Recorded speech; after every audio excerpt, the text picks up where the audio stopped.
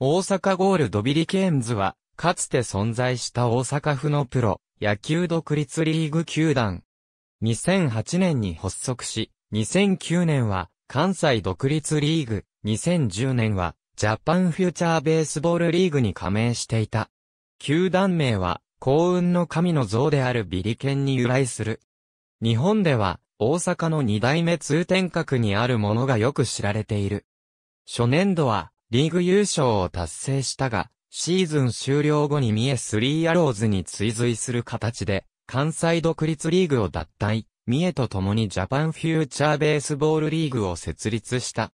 しかし、2010年のシーズン中に選手による野球賭博が発覚、球団運営に支障をきたす事態に陥り、発足から2年で解散することとなった。これが原因となって、ジャパンフューチャーベースボールリーグも活動を停止している。解散後の報道によると、当初の運営会社であるステラからの分配金が出ないと判明した後、出資者からは追加の承諾を得られず、初年度終了時点で、すでに経営的に厳しい状態であったが、リーグ代表だった壁や慶一郎から補填を受けてしのいだという。JFBL となった2年目も、野球賭博問題で、スポンサーが撤退する前から、このままでは、苦しいと聞かされていたと監督の村上隆之は証言している。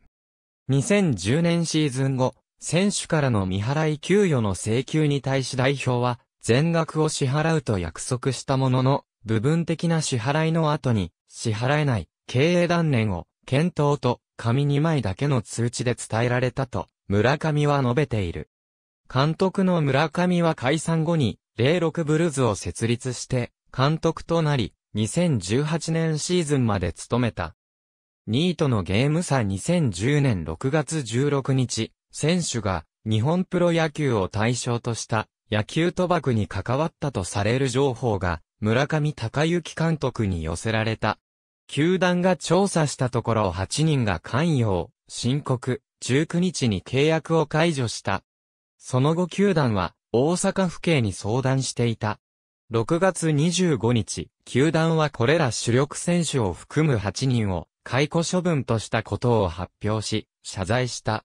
8名は仲間内で数千円から数万円をかけていたとしている。村上監督は、ショックで悔しい。正直言って裏切られた気分ですとコメントした。同日、球団の最大スポンサーである森下仁丹が契約の解除を通告した上、残る所属選手もわずか12人となり、チーム維持が微妙な状態となった。ただ、試合開催については、7月9日までは予定通り行うことを表明していた。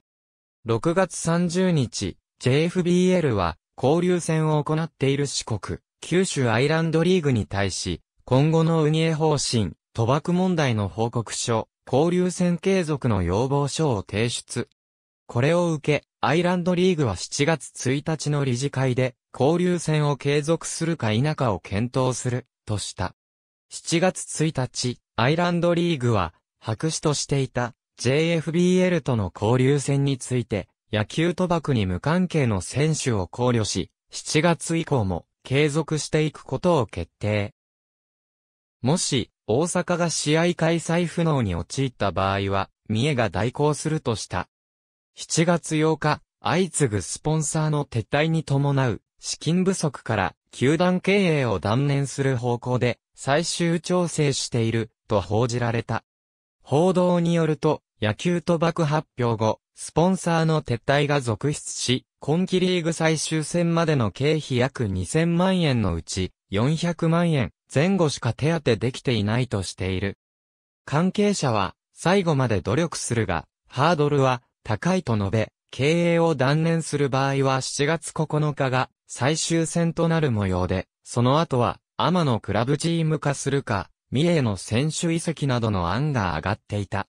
最終的に、大阪が撤退するか否かについては、15日までに、アイランドリーグに伝えることになった。7月10日、引き続きリーグ戦に参加する、と発表した。相次ぐスポンサーの撤退により、経営状況は悪化しているが、支援スポンサーも集まっている、としていた。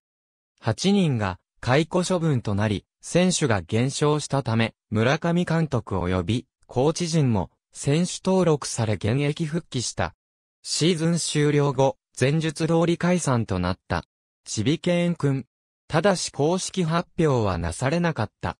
誕生日は2008年5月30日。ホームでの試合や地元イベントなどに登場していた。チームメイトもなっているビリケンをモチーフにしている。背番号は2010年シーズンは116となった。足は、裸足状であった。ありがとうございます。